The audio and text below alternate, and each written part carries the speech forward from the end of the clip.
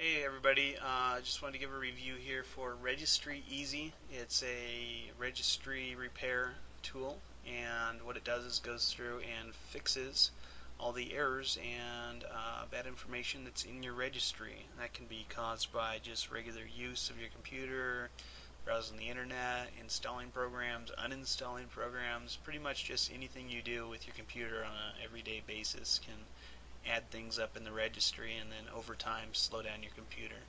Uh, what this uh, what this tool does, and all the registry cleaning tools or repair tools do, is uh, they go through and they find uh, registry entries that are overlapping each other or that are from uh, old programs that you've already uninstalled and they left behind registry information or just anything like that. Um, I did a scan of my computer. It found about 1,200 errors. My computer is about three years old.